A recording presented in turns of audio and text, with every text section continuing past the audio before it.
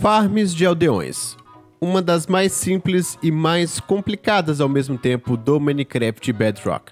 Simples porque, bom, com um bloco, basicamente, e algumas pequenas modificações, você consegue vários aldeões. Complicado, porque se você não fizer direito, os aldeões bugam e isso a gente está cansado de saber.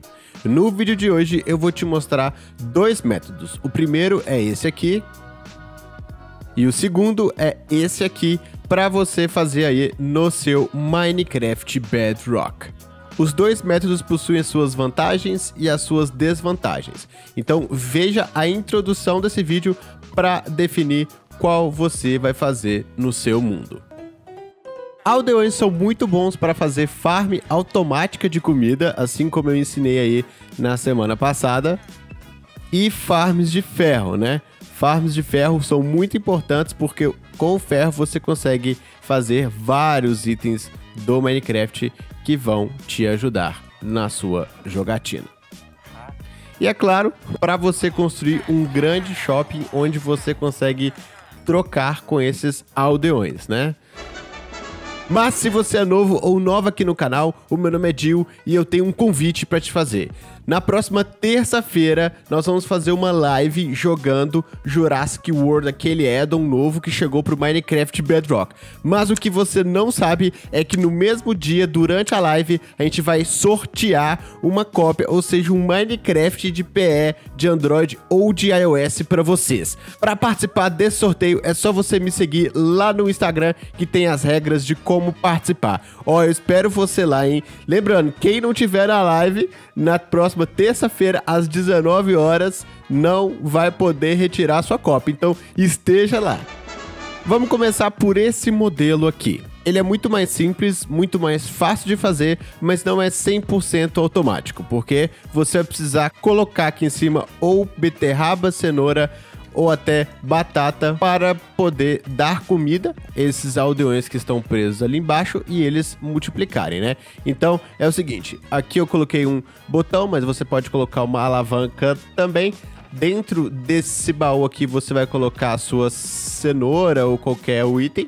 Esse sisteminha aqui vai jogar a cenoura para os aldeões, eles vão recolhê-las e daqui a pouco vão começar a trocar entre eles e gerar novos aldeões. Como vocês podem ver, é um sistema bem simples, bem fácil de fazer. Não necessariamente precisa dessa parte aqui de cima. Você pode jogar também a cenoura manualmente, mas eu quis automatizar que fica mais fácil. O único porém desse modelo aqui é que você vai precisar ter um, uma grande quantidade de recurso, né, de vegetais para poder jogar para os aldeões. Ou seja, não é um modelo 100% automático.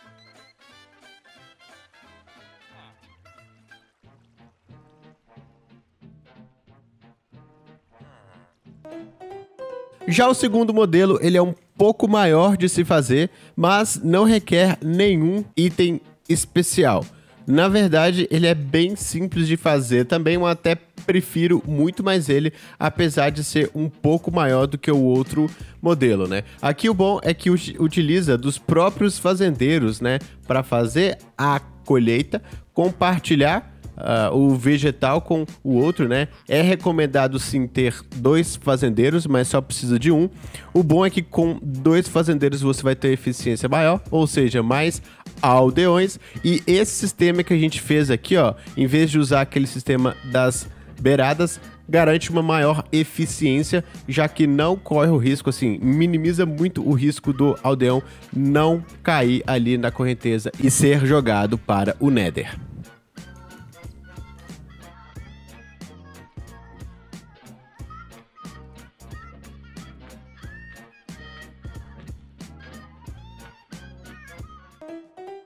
Agora que você viu os dois modelos, eu vou deixar aqui na descrição do vídeo, tá? Esse modelo aqui atrás de mim é o primeiro e aquele ali é o segundo, o semi-automático e o automático, caso você queira pular diretamente para o tutorial desse vídeo, ok? Antes, eu vou explicar para quem quer saber como funciona essa mecânica dos aldeões. Vamos lá! Basicamente, os aldeões funcionam da seguinte forma: eles têm que detectar uma vila, ok? Para eles poderem multiplicar. Por quê? Porque a quantidade de aldeões, ou seja, a, os habitantes daquela vila, tá proporcionalmente alinhado com a quantidade de camas que aquela vila tem. Por exemplo, aqui ó, os aldeões acreditam, como tem seis camas, né, que o número de habitantes dessa vila aqui deveria ser considerado seis aldeões. Só que só tem dois ali dentro. Então, quando eles receberem comida, eles vão é, fazer de tudo para multiplicar, desde que eles tenham nos seus inventários comida, ok? Que no caso aqui a gente está fornecendo cenoura para eles, certo?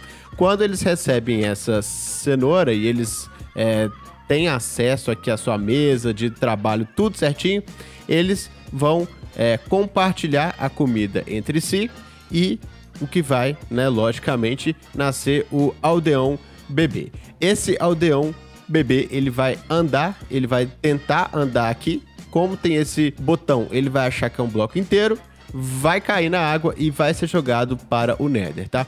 O Nether ele é muito importante porque no Minecraft Bedrock, sem os aldeões, eles vão bugar, ok?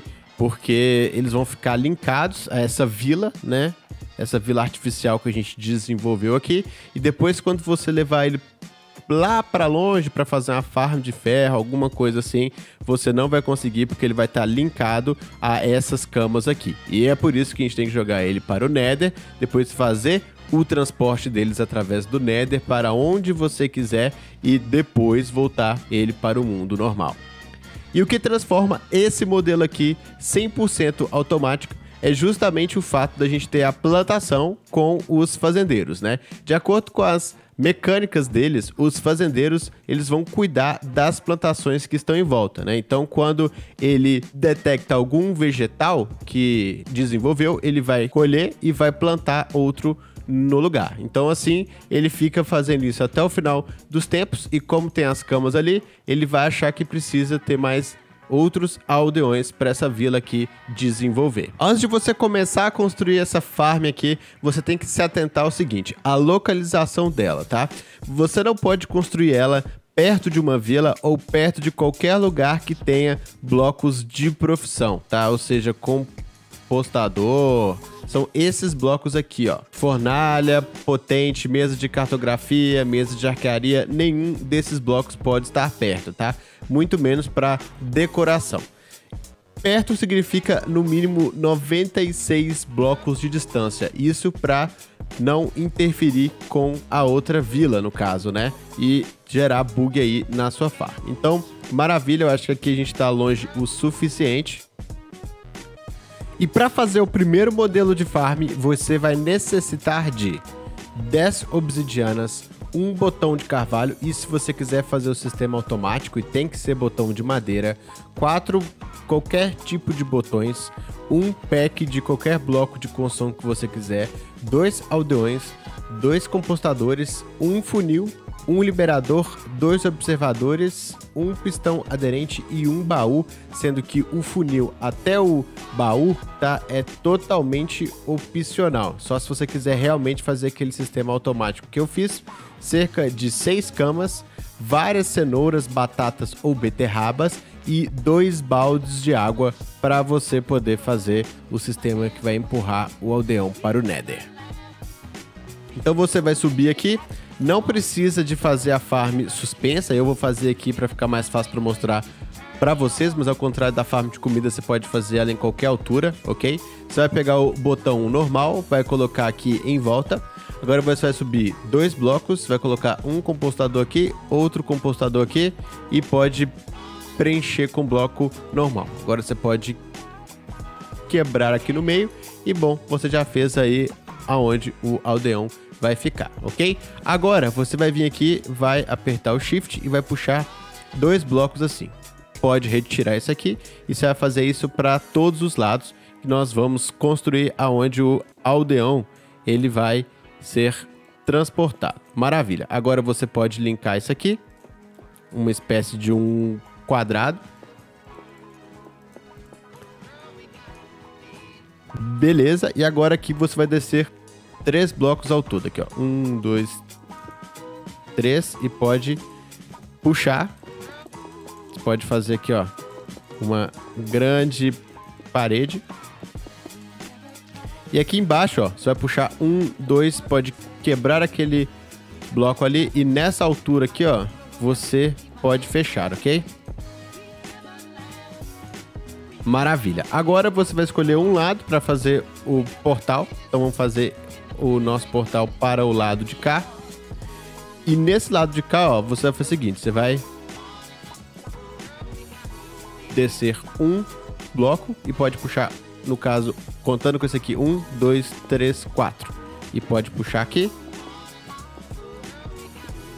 E nesse quarto você pode fazer um portal, pode ser um portal convencional, colocar dois ali, subir aqui, três, dois, mais aqui, beleza? E aqui, ó, nós vamos fechar para não acontecer nada. Aqui também você pode fechar. Então aqui, ó, o aldeão vai vir aqui. Esse portal você já pode ligar ele. Maravilha, tá funcionando. Agora você vai pegar o seu balde d'água, vai colocar um aqui e um aqui. Maravilha. Então, o aldeão vai ser jogado ali. Caso você queira, você pode retirar esse bloco aqui, ó, e subir ele para o aldeão não ficar batendo com a cabeça ali e bugar, ok? Você pode até subir isso aqui inteiro para não acontecer isso. Maravilha, e já tá praticamente pronto, né? Você pode jogar aqui, ó, o aldeão aqui dentro. Beleza? Agora a gente vai simular a vila. Então você pode escolher para qualquer lado. Vou fazer isso para cá. Nessa mesma altura aqui onde os aldeões estão, vai puxar aqui, ó. Um, dois, três, quatro. Vou quebrar esses, esses aqui. Que você vai fazer uma plataforma de 6 por 2. 6 por 2. E aqui você pode colocar a cama em cima e a cama embaixo. Os aldeões já vão sincronizar com as camas. Então já vão pegar as profissões que a gente colocou aqui. Maravilha. Se você começar a jogar aqui, ó, a cenoura já vai estar tá funcionando, ok? Então a farm já está praticamente é, já está finalizada, né? Agora, se você quiser automatizar isso aqui, igual eu fiz lá, é diferente. Você vai fazer o seguinte: vai colocar aqui, ó, um bloco de apoio, outro bloco de apoio. Você pode já pegar os seus itens de redstone aqui, você vai colocar aqui, ó, um li liberador mirado aqui para baixo. Aqui você pode fechar com o bloco que você quiser. Você pode colocar vidro, que fica mais fácil de ver se realmente é, tá liberando ali os itens. Opa, sem querer eu quebrei ali. Maravilha. Agora aqui em cima, ó, a gente vai colocar alguns blocos de apoio. Um, dois, beleza. Agora você vai vir bem aqui embaixo, bem rente, vai quebrar esse bloco de apoio e vai colocar um observador com a carinha mirada para cima. Você vai colocar outro observador exatamente assim ele vai ficar ativando o liberador, ok? Agora você vai fazer o seguinte: você vai colocar um bloco aqui de apoio, outro bloco de apoio, vai colocar um pistão aderente mirado para cá, pode quebrar esse bloco e ou você vai colocar o botão diabeto, olha lá, vai puxar e não vai ativar mais, ou você vai colocar a alavanca, né? Isso vai depender se você quer que a carga fique, olha lá, ó, se ela fique replicando ou se ela funciona, se ela joga um pouco e depois pare, né? Eu prefiro o botão nesse caso, ok? E para finalizar, vamos pegar aqui, ó, o funil, vou colocar mirado aqui no liberador, ó, tem que estar tá mirado, certo? E aqui a gente vai colocar o baú aqui em cima e é só jogar a cenoura, a batata ou a beterraba ali que a nossa farm já tá 100% funcional. Aí, é só apertar aqui, ó lá. Vai jogar ali. Maravilha, jogou, eles já pegaram. Daqui a pouco eles vão começar a procriar. Uma pequena correção, eu vi que às vezes o liberador ele manda aqui, ó, para esse canto de cá e o aldeão não pega. É só colocar ali, ó, ali dentro um painel de vidro que ele vai mandar sempre o item para o meio, ó lá, ó. E o aldeão vai sempre pegar o ou a cenoura ou a batata ou a beterraba.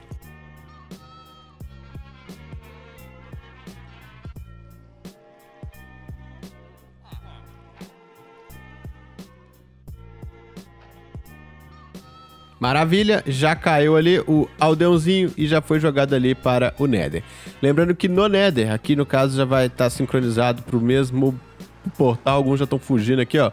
No, no Nether você tem que fazer um esqueminha assim, ó, para eles ficarem aqui é, presos aqui, ok? Então, ó, eu recomendo ali, no caso eu deixei com pouquíssimos blocos.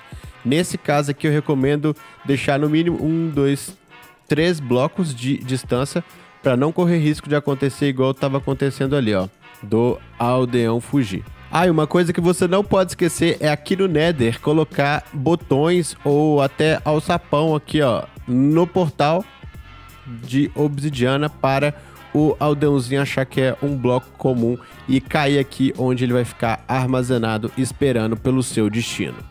Caso você queira fazer o segundo modelo, que é 100% automático, você vai necessitar de dois packs de qualquer bloco de construção, 10 obsidianas, 7 botões, pode ser qualquer tipo de botão, um pack e 10 de terra, dois compostadores, dois aldeões, dois baldes de água, uma pedra luminosa, cinco camas, uma perdeneira e no mínimo um pack de cenoura, tá? Na verdade, se você tiver uma cenoura já dá, só vai demorar mais a procriar. Além disso, uma enxada para você transformar é, a terra em terra arada. Só algumas recomendações rápidas aqui, caso você não tenha visto o outro tutorial. Para fazer essa farm, você precisa de escolher um lugar que esteja no mínimo 96 blocos de distância de qualquer vila ou de qualquer bloco de profissão, tá? Como a o compostador ou aqueles blocos de flecha, qualquer um bloco de profissão você não pode colocar perto nem cama, porque senão corre risco de bugar a sua farm, já que o Minecraft Bedrock é extremamente bugado. Então, depois que você escolher aí o lugar perfeito para você fazer longe de tudo e de todos. Você vai vir aqui, eu vou fazer ela no alto, tá? Não necessariamente precisa de fazer ela no alto, eu vou fazer porque vai ser mais fácil para mostrar para vocês. E, e aí você vai fazer a sua área de plantação, ok? No meio você vai colocar um bloco, exatamente assim. Você vai quebrar, no caso, você vai fazendo no para baixo um bloco e vai colocar a água aqui, ok? Agora, de cada lado, contando com esse aqui, você pode puxar quatro. Então, um, dois, três, quatro. Aqui também, dois, três, quatro, dois, três, quatro, dois, três, quatro. E agora você pode puxar aqui, ó, e formar um grande quadrado. Beleza. Agora que você fez isso, você vai fazer o seguinte: você vai escolher um lado que você quiser que é o lado que os aldeões vão dormir, você vai puxar um bloco, dois, e aqui, ó, você vai fazer, ó, uma plataforma de cinco blocos, ok? De 5 por 2. Aqui em cima você vai colocar as camas. E agora aqui em volta você pode fechar. Você vai subir três blocos, ok? Aqui em volta. E aqui, ó, você não vai fazer o teto aqui não. Você vai subir um bloco para os aldeões não morrerem sufocados. Essa parte é muito importante.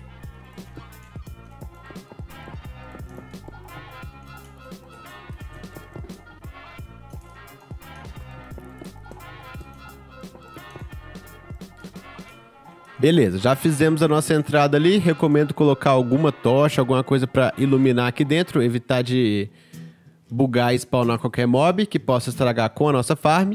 E agora, você pode fechar aqui em volta, ó, para não correr risco do aldeão fugir ou no caso cair ou qualquer mob entrar aqui, tá? Lembrando que para eliminar spawn aqui em cima desses blocos, você pode colocar ou tocha ou laje ou qualquer item que tenha luz, né? Como a pedra lumi luminosa. Isso aí vai variar muito de acordo com a sua decoração da farm. Agora, você vai fazer o seguinte, ó. Você vai pegar a sua enxada e vai arar toda a sua terra. E você vai fazer o seguinte, ó. Aqui você vai colocar um bloco de apoio, um compostador e ali você vai arar novamente. Você vai contar um bloco e vai quebrar esse, esse, esse. E do outro lado, você vai fazer a mesma coisa. Um bloco, esse, esse, esse. Ok? Vai ficar assim. Você vai pegar esse outro compostador, vai colocar aqui, ó, nesse lado de cá, assim, ok? E vamos pegar um bloco e vamos colocar em cima desse lugar onde a gente abriu, ó. Para nenhum aldeão grande cair aqui, só os aldeões pequenos. Aqui dentro você pode pegar o seu botão e colocar ali e aqui também. E maravilha, ó. Se a gente colocar aqui os aldeões aqui dentro, ó, já vão sincronizar com a cama ali. A cama tem que dar esse, essa partícula verdinha e já pegar a profissão. Se não acontecer isso é porque tem alguma coisa errada. Você pode plantar aqui a cenoura ou você pode jogar a cenoura para eles mesmos aqui que eles fazem esse trabalho para você enquanto a gente acaba a farm, tá? Bom, agora aqui embaixo a gente vai fazer o seguinte, vai contar um, dois blocos, aqui a gente pode fechar. Ah, contar para esse lado de cá, tá? Para esse lado onde tem aqui, ó, a, o compostador aqui. Você vai contar mais um bloco para baixo, para não correr nenhum risco ali de bugar. Aqui você vai puxar um bloco para trás. E ali, ó, você vai quebrar e vai colocar água. Caso você esteja jogando no Survival, é só fazer uma fonte infinita. Você quebra quatro blocos, coloca uma em cada diagonal e você tem uma fonte infinita para você pegar água. Como aqui, ó, nossa farm já estava aberta, ele já caiu ali. Então vamos puxar aqui. E aí a gente faz a mesma coisa dos dois lados, né? Então aqui, ó, vamos fazer essa estrutura aqui. Que a gente vai puxar. E aqui a gente vai tampar para nenhum aldeão fugir, certo? Beleza, aqui a gente vai descer um bloco em cada lado.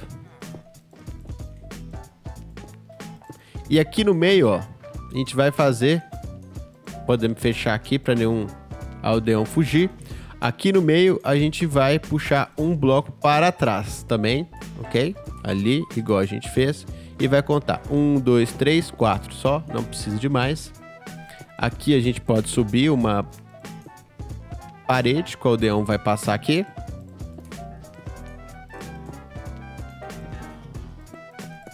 Aqui a mesma coisa. Então vamos puxar aqui. Subimos, maravilha, que a gente pode fechar. E agora aqui a gente vai fazer o nosso portal do Nether. Então, colocar dois blocos de obsidiana, um, dois, três, um bloco normal, um, dois, um bloco normal, um, dois, três. Maravilha. Podemos fechar aqui para evitar que qualquer um fuja. Beleza, aqui ó, tem um espaço aberto aqui, então a gente precisa de fechar ele. Beleza, tem um lá e um cá. Tem um aldeão aqui andando aqui embaixo já. E agora, ó, antes da gente ativar esse portal, tem que fazer essa parede ali. Vamos pegar nossa pederneira. Beleza, ativamos. E agora a gente precisa de colocar água em alguns pontos aqui, ó. O primeiro ponto que a gente precisa de colocar água é aqui, ó. Você vai entrar aqui de baixo e vai colocar nesse bloco de cá. Vamos fechar aqui para a água parar de escorrer. Beleza, vamos fechar. E aí, ó, se tudo der certo, a água, isso, vai até aqui. Maravilha. Beleza. Agora o outro lado, a mesma coisa. Vai colocar água aqui. Vai cair para cá. E aí, no caso, nem preciso colocar água aqui não. Vou fechar aqui mesmo, que vai dar certinho, que vai empurrar ali para o Nether e a sua farm já está pronta. Recomendo fechar isso aqui, ó, só para evitar qualquer mob cair aqui dentro e ir lá para o Nether depois. E aquela pedra luminosa, recomendo colocar ela aqui em cima para iluminar a sua área. Agora é só esperar esses aldeões compartilhando as cenouras e aumentando aqui a área de colheita deles, que daqui a pouco você vai ter inúmeros aldeões lá no seu Nether te esperando.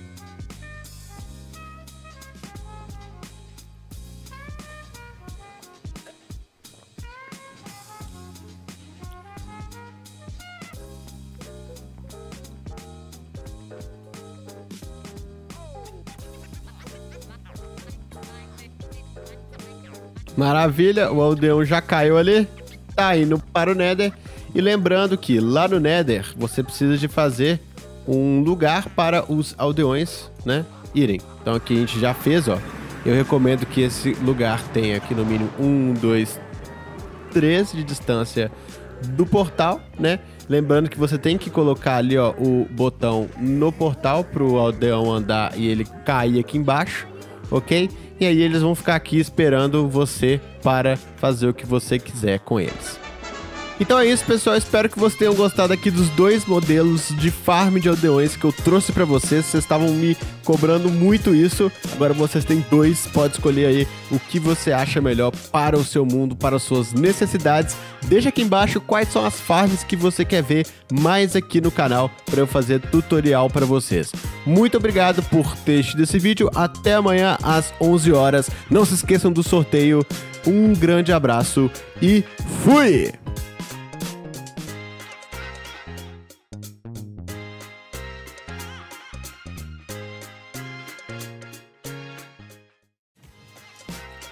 Fazer 20 segundinhos de time-lapse aqui. Pra poder colocar no After Credits. Vamos lá, 20 segundos. 19, 18, 17, 16, 15,